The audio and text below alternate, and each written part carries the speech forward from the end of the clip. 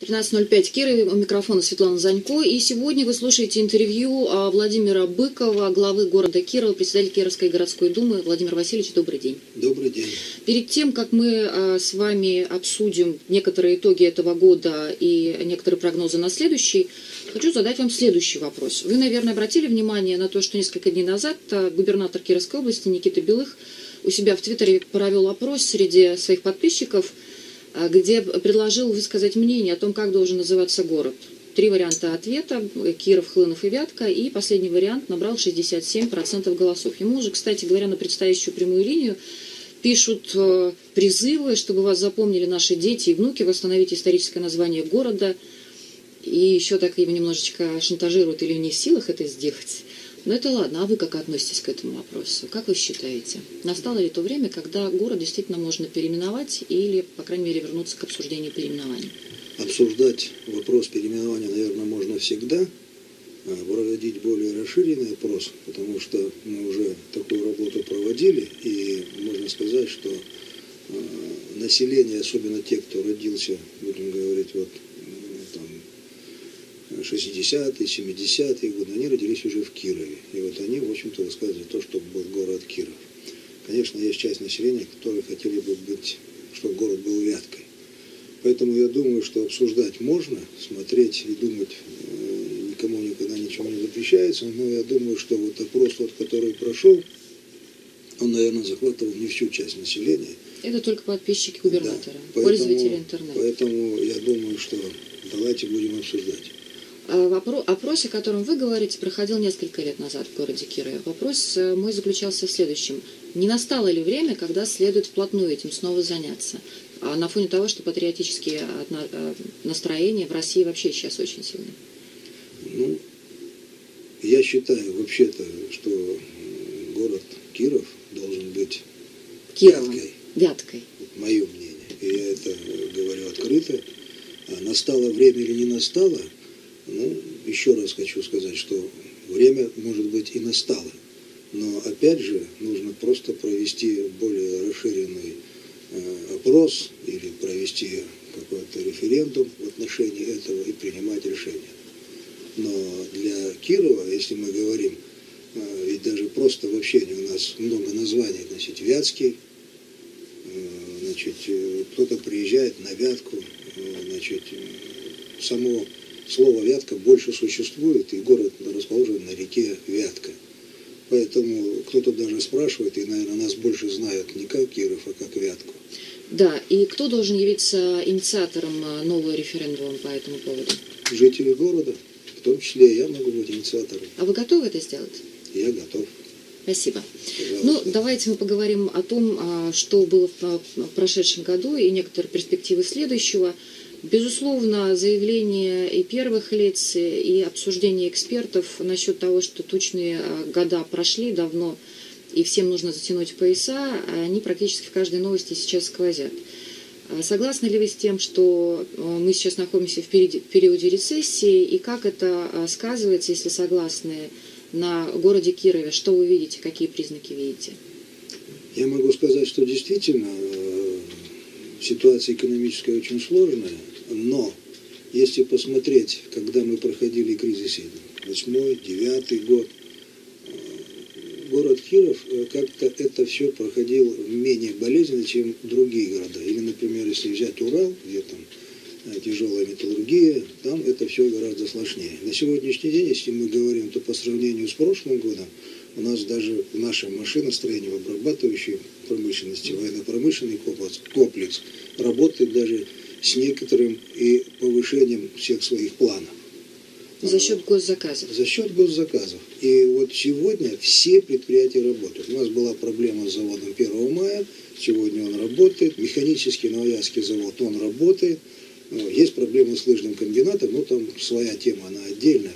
Поэтому, если говорить, то вот у нас даже в какой-то степени и прошло даже увеличение э, числа работающих людей, которые приняли наши предприятия. А в связи с открытием нового завода, это еще полторы тысячи рабочих мест. О каком заводе идет речь? Это завод, который строится в Масанте э, на базе завода «Авиатек». Поэтому говорить о том, что вот как-то вот все плохо в городе, наверное, не стоит. Но если говорить в целом, то, конечно, ситуация непростая.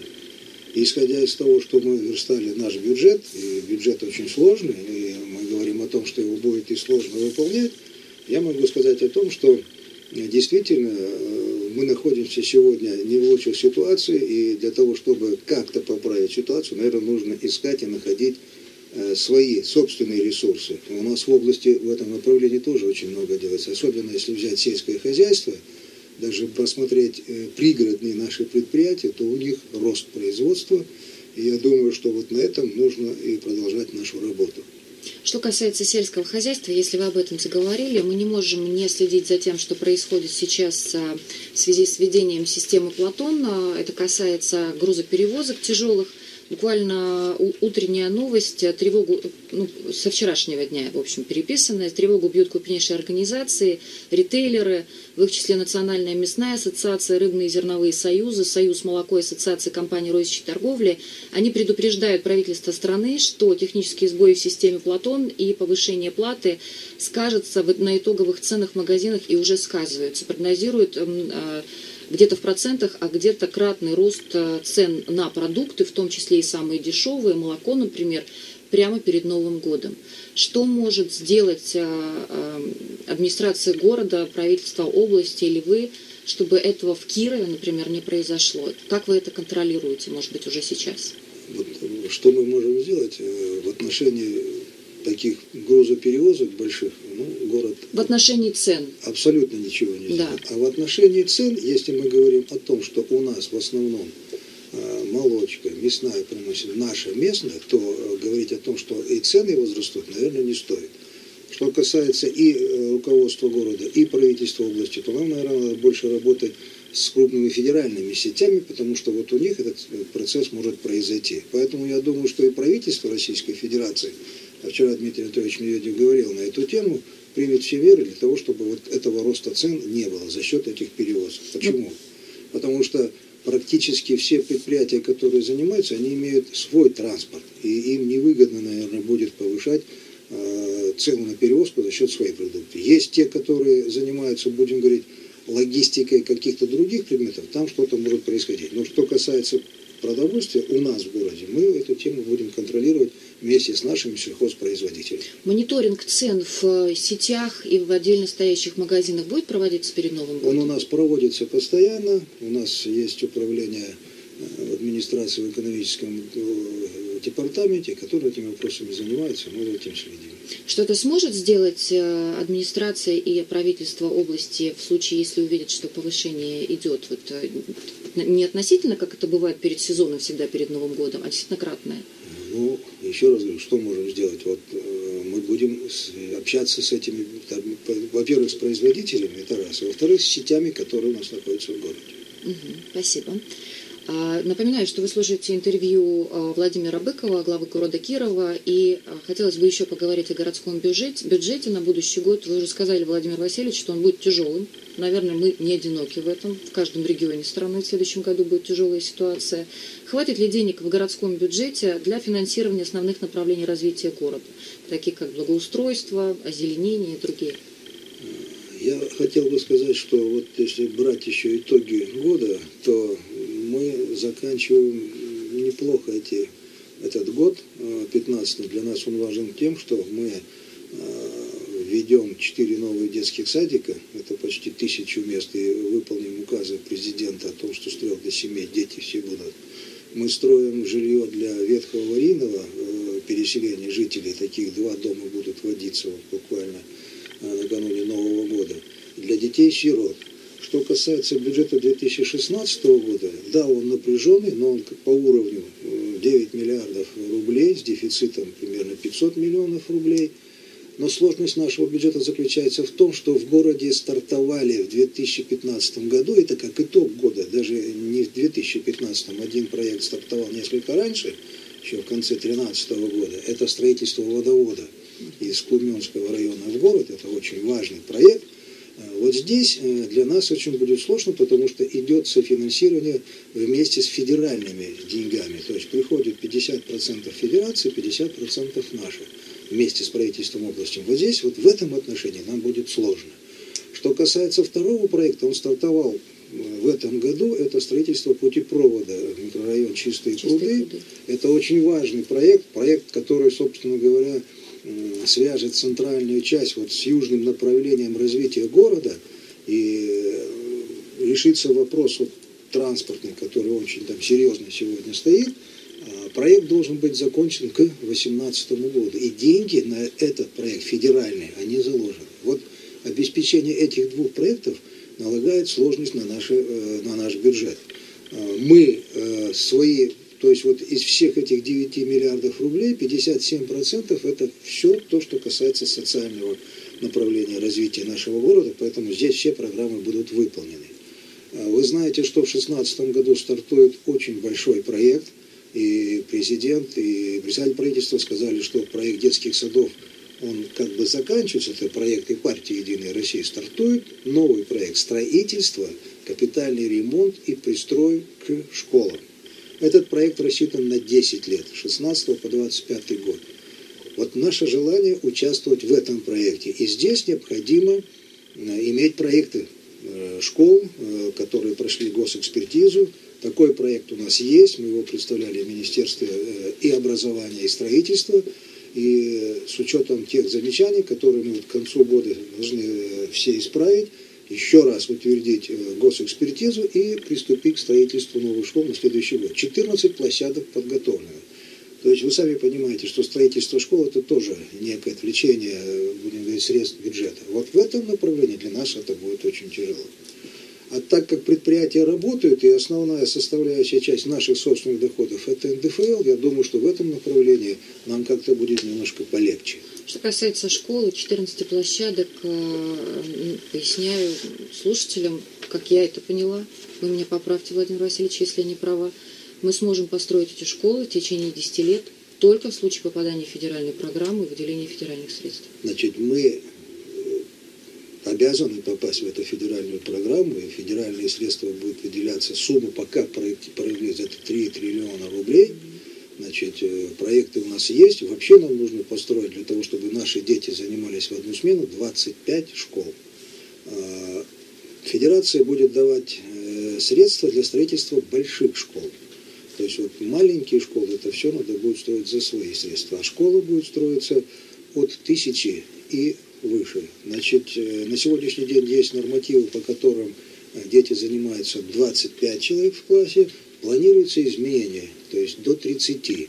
Поэтому мы готовим, у нас на тысячу мест проект готов, на сегодняшний день наши уже разработчики с нашими строителями уже приступили к проектированию школы на 990 мест. Это уже классы по 30 человек. А там уже дальше идет 1360 и потом уже там выше. То есть вот такие школы мы будем планировать, и на такие школы мы обязательно получим средства. Потому что на сегодняшний день в Минобраз забы- а, заявились мы, Ярославская и Челябинская области. Три Поверьте, области всего. да, пока три области. Финансирование этих проектов начнется ну, ориентировочно с мая месяца. То есть у нас Губернатор большие области шансы. активно, да, Мгм. да, вот активно занимается, потому что у нас был министр образования, э, был заместитель министра образования, они видели, как мы строим детские садики, то есть вот именно те требования, которые сегодня предъявляет и требует для строительства школ, это трансформер, то есть можно как-то что-то поменять. Вот у нас детский сад, который мы построили в Радужном, который сегодня мы будем открывать в микрорайоне Урванцево, они уже такого типа. Трансформеры, например, детский сад можно трансформировать в начальную школу. Его Это можно трансформировать в начальную школу, но его можно поменять как угодно. То есть, понимаете, вот здесь сегодня у вас ясельная группа, здесь можно сделать группу для старших. Или здесь у вас актовый зал, можно его превратить в спортзал. То есть вот это перемещение. И самое главное, если мы говорим он на 300 человек, то убрав какую-то часть, он будет уже там на 220, на 240, 260. Так, таким образом можно там, изменять конфигурацию, условно говоря, учебного заведения, чтобы не наоборот, чтобы соответствовать нормам, да? Да, чтобы соответствовать. Это важно. Если вы помните, раньше у нас все детские садики были два этажа. Угу. А на сегодняшний день три этажа. И вот третий этаж это, собственно говоря, спортзал. Угу. Это актовый зал. А внизу первый этаж это ясельные группы. Там, ну, мы понимаем, Это там, очень интересная тема, потому что Москва ведь идет давно уже по этому пути. У них э, трансформеры, садики, превращающиеся в начальную школу. У них э, сейчас, насколько я помню, в самой Москве законодательно введено э, такое право строителя или даже обязанность строить дома на первых этажах этого дома учебные заведения. Вот мы как-то по этому же пути движемся. Мы идем по этому направлению, и у нас уже в городе строится несколько э, жилых домов, где первые этажи будут использоваться под частные детские садики. То есть государственный детский садик там не, мы не можем э, открывать, а вот частные детские садики, то, что в Москве происходит, на первых этажах можно открывать. И такие уже, они, правда, у нас, будем говорить, небольшие, там вот по группы по, по 20 человек, по 25 человек, такие детские садики у нас уже есть. Спасибо. Вы слушаете интервью Владимира Быкова. Следующий вопрос э, касается темы центрального рынка. Ваше мнение, если городская администрация проиграет в правовом поле, а мы знаем, что сейчас идут апелляционные жалобы, их рассмотрение, и пока что э, администрация проигрывает, прокуратура а, отстаивает свою позицию. Если администрация проиграет в правовом поле, а, намерен ли город отказаться от реконструкции центрального рынка? И что с деньгами инвестора, насколько я помню, там речь шла о 20 миллионах, такой своеобразной предоплаты. Что с этими деньгами, где они, не забирает ли инвестор эти, деньги?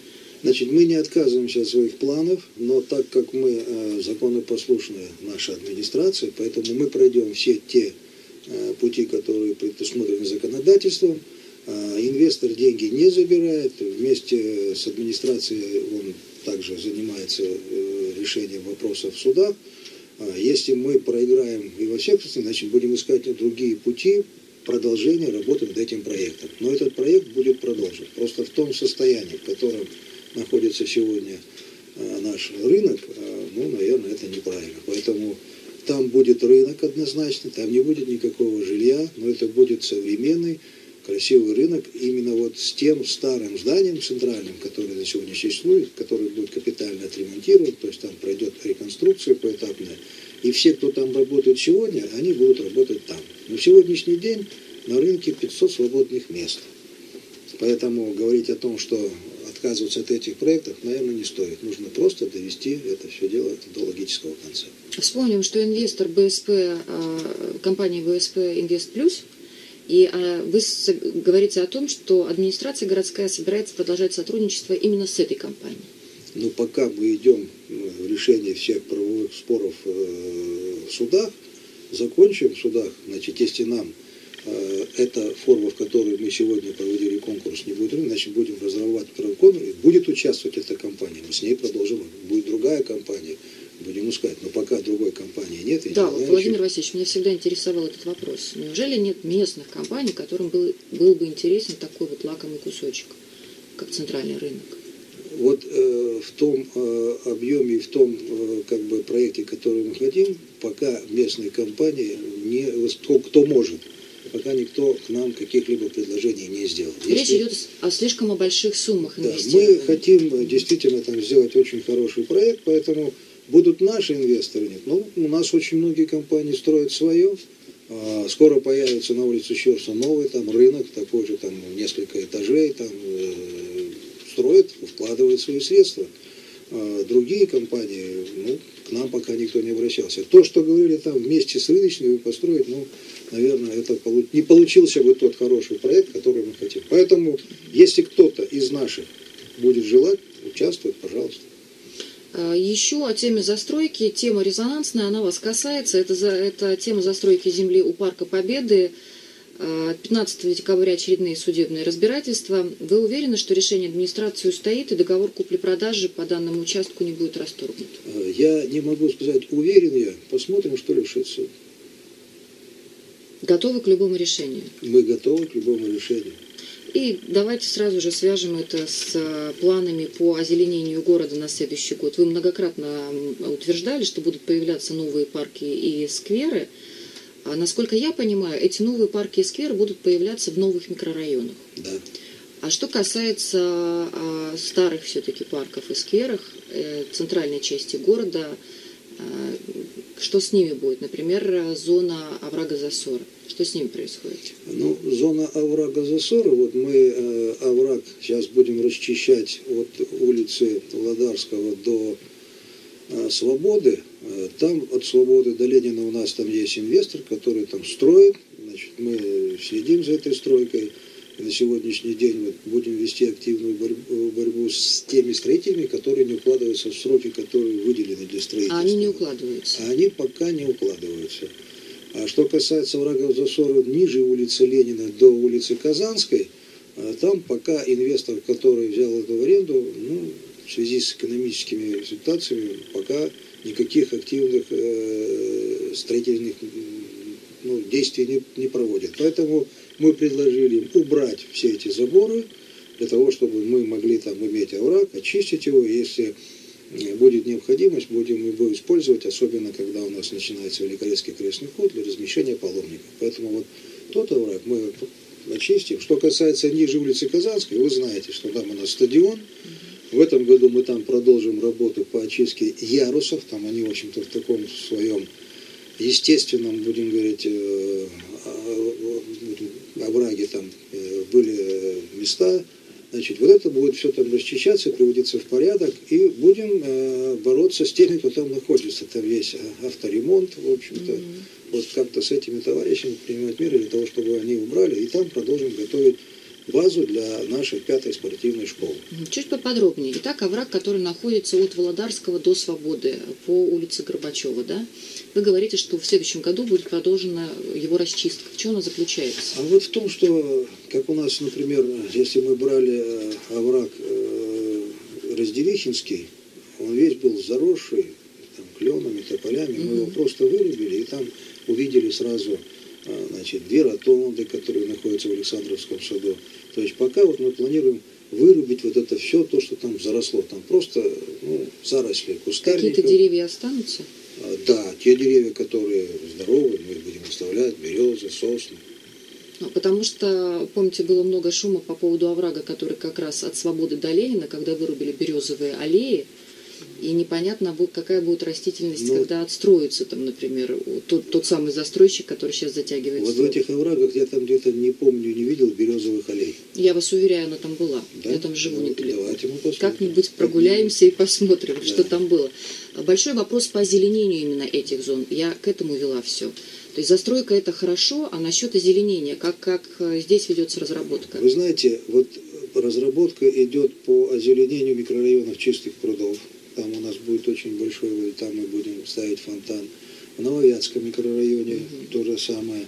По остальным, по скверам, значит, мы с учетом того, как у нас будут находиться инвесторы, то же самое будем приводить в порядок. Вот простой пример у нас на улице Мельничной, там появился сквер напротив облгаза, там так называемого старого. Мы знаем, газовщики там да, тоже получаются. там и газовщики, там строители больше поучаствовали, но и газовщики в том числе. Вот это пример. Будем привлекать всех для того, чтобы как можно больше сделать вот таких маленьких, уютных и комфортных скверик. А вас лично устраивает, как работает городская служба по озеленению? Вот как разрабатываются планы парков и скверов? А как вообще внедряется культура парковая в городскую среду. Вот в чем в какой смысл, какая культура парковая, в чем это, что вы Как выглядят наши парки и скверы, попросту говоря? Ну, Вас устраивает? у нас... А следовательно, как работают те люди, которые отвечают за это? Я могу сказать, что у нас есть э, две структуры, которые отвечают. Это есть у нас э, муниципальное учреждение архитектуры, которое, собственно, разрабатывает концепцию всех парков и скверов. И есть у нас управление благоустройства, которое уже затем выполняет все, что там делается. И я могу сказать, что все, что наши МУП сделали вот в этом году, уходящем, наверное, каких-либо замечаний там, и по тому же парку Победы, и по тому же э, скверу шестидесятилетия СССР и по другим местам, наверное, нет. Поэтому я думаю, нам нужно просто искать и привлекать жителей, чтобы мы вместе вот то, что делает наша архитектура, притворяли в жизнь. То есть вам нравится, а если кому-то из жителей не нравится, то пусть приходят со своими предложениями. Мы готовы выслушать любое предложение угу. жителей, которые придут и скажут, давайте, вот мы в районе Радужного, давайте вместе пойдем и будем э, приводить сквер. Мы пришли, они нет. Я пришел, тебя нема, называется. Да, обманула. Да. Мы сейчас прервемся на короткую рекламу. Через две минуты снова в студии а, с Владимиром Быковым, главой города Кирова, и а, пройдемся по вопросам, которые оставили наши слушатели на сайте хакирова.ру. А, продолжается наш эфир. Напоминаю, что сегодня в гостях нашей радиостанции Владимир Быков, глава города Кирова. Я обещала, что мы обязательно пройдемся по вопросам, которые оставили наши слушатели на сайте хакирова.ру. А, первый вопрос Игорь пишет. Владимир Васильевич, как складываются рабочие отношения с товарищем Перескоковым? Случается ли у вас недопонимание по каким-либо вопросам? И кто утром раньше на работу приходит? Э, утром раньше на работу приходит Перескоков. Недопонимания у нас нет. И все складывается пока, будем говорить, в таком рабочем ритме. Угу. Анна Дмитриевна, в сквере у мэрии в этом году оборудовали, оборудовали прекрасную детскую площадку, фонтаны, теперь елку и освещение. И очень неприятно, что многие люди, которые там гуляют и даже с детьми, курят. Неужели ничего нельзя с этим сделать? Вы могли бы повлиять, запретить, проконтролировать? Ну, запретить мы не можем, а будем просить или установим некие знаки, но вот просто запретить курить у нас нет никакого права. Сами как вы к этому относитесь, когда Я... видите курящих людей в парковых зонах? Ну, вообще-то я всегда считал, что даже если человек курит, то курение э, в движении, оно, наверное, еще вреднее, чем просто. Поэтому надо курить, мое такое мнение, в специально отведенных местах. Может быть, этих мест у нас в городе нет, это тоже надо принять. Но вообще-то я к курению отношусь отрицательно. Сам не курю, и поэтому считаю, что это... Особенно, наверное, все-таки в присутствии детей, потому что вот в этом действительно хорошем сквере сейчас очень много детей. Я с вами согласен, но подумаем, но вот какие-то такие запрет... запретительные меры, наверное, не решить вот там ни борьбу там ни с курением, ни с алкоголизмом, нужно, наверное, просто разъяснять, э, там, на личном примере показывать, что это там как-то ну, неправильно люди поступают. А тот человек, который всю жизнь курил, как мы его заставим бросить курить? Наверное, нет. Поэтому подумаем, чтобы в этом парке, сквере было более уютно, но уже сейчас там действительно очень красиво.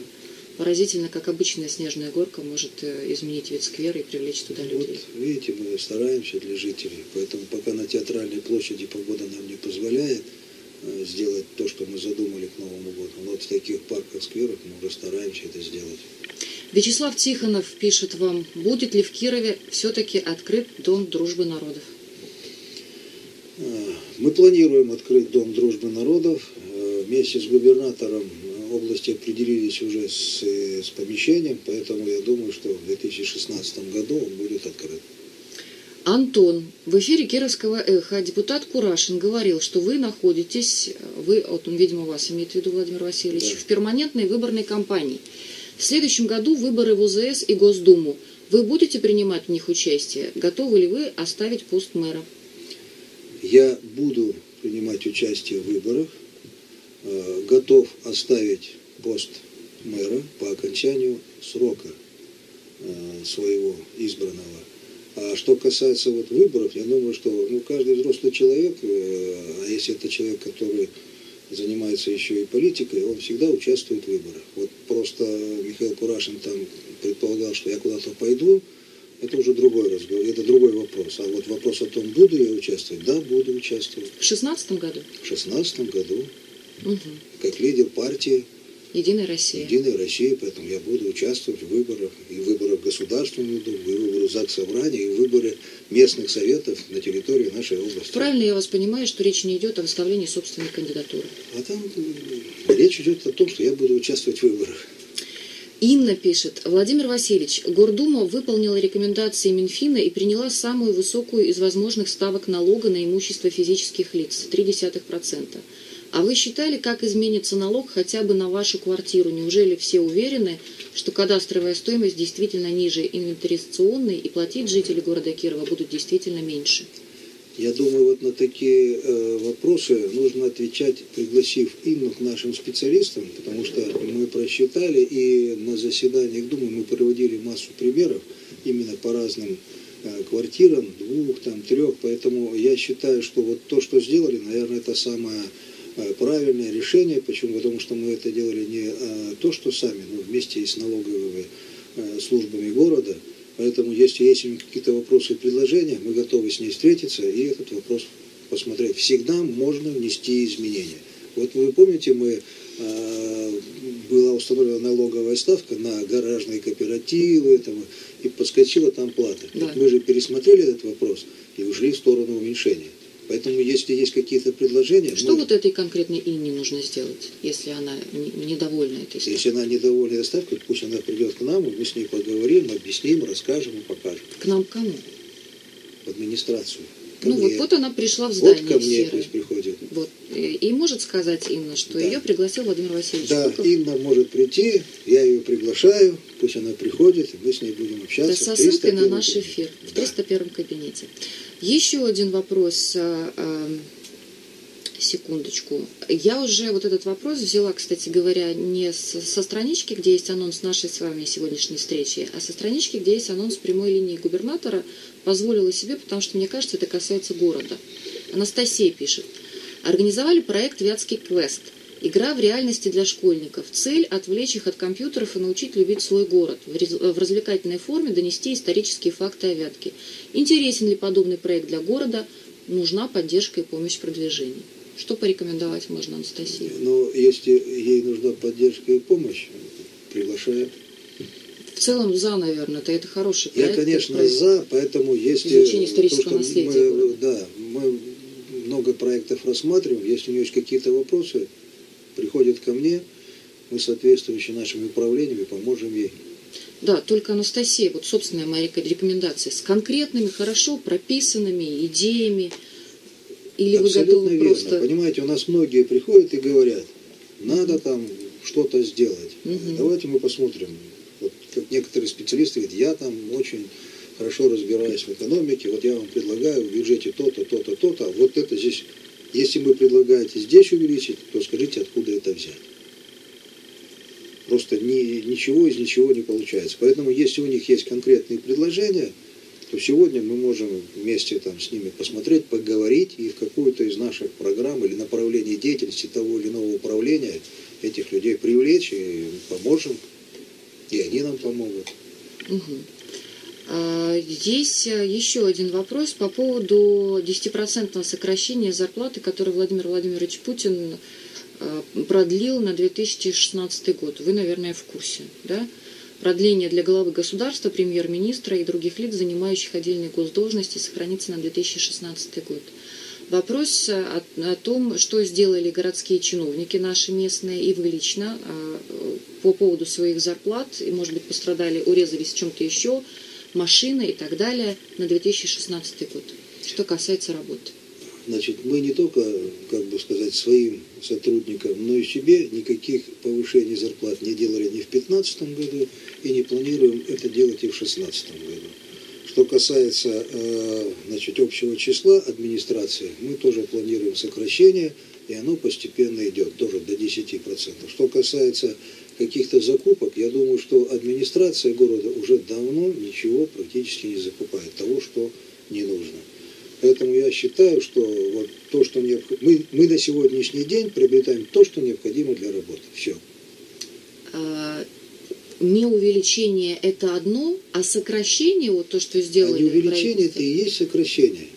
Нет, э, э, еще раз, Владимир Путин сократил на 10% а конкретно зарплаты. Что-то подобное произошло, вот сокращение конкретно на конкретный процент или нет?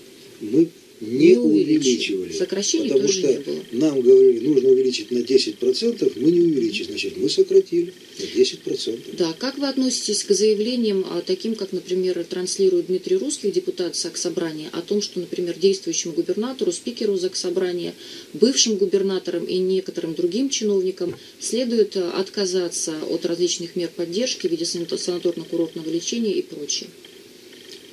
Ну, я думаю, если бы Дмитрий Русских был губернатором или спикером, то он бы пользовался, э, будем говорить, э, той возможностью, которая ему предоставляется. Тем более она не такая большая. Просто говорить э, о чем-то, вот, как всегда Дмитрий Русский говорит, вот там, где-то, бюджетные деньги, а он живет на что?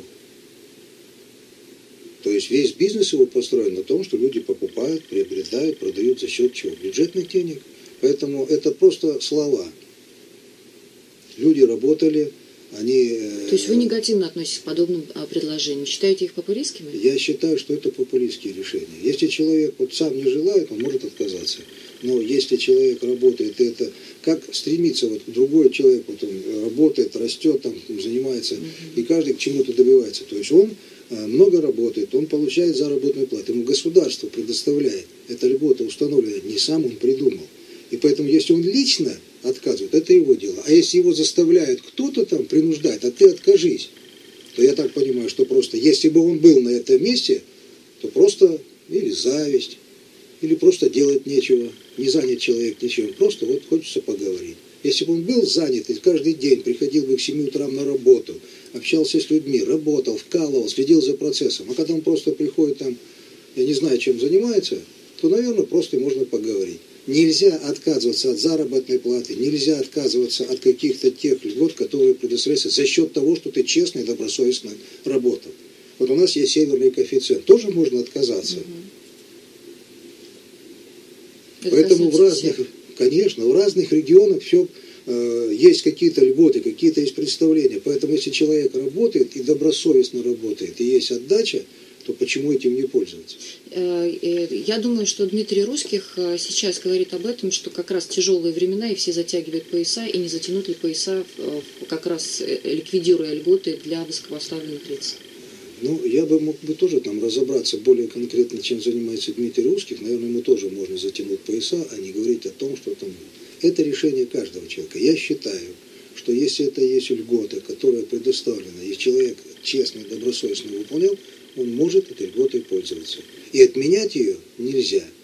Понятно. А Если человек сам сказал, да, я не буду ей пользоваться, и не буду там, Это его право. это его право. Редак- Вот я в этом году не пользуюсь правом санаторного курортного лечения. Это ваше личное Это решение. мое личное решение. А Но я все- об этом нигде не кричу, только здесь сказал, потому что, чтобы Дмитрий там тоже услышал. Пусть он откажется от чего-то своего.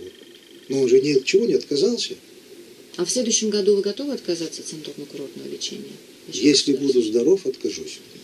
Э, Последние там буквально несколько секунд, но редактор очень просит, Инна, которая вам писала по поводу оплаты за квартиры да, и налог на имущество, все-таки хочет от вас услышать ответ.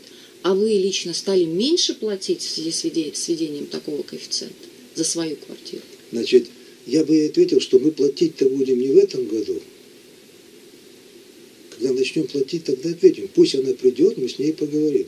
Этот налог когда будет действовать? Ее интересует ваша личная квартира. Моя личная квартира? Быков. Будете ли вы платить меньше? Ну, наверное, все знают, больше? что я э, являюсь э, человеком, который имеет определенные льготы государством, как э, военнослужащий, как ветеран вооруженных сил, как участник боевых действий. Поэтому у меня это все будет на 50% меньше. Спасибо. И напоминаю нашим слушателям, э, что вы слушали сегодня интервью с Владимиром Быковым, э, главой города Кирова. Я, Светлана Занько, прощаюсь с вами. До свидания. До свидания.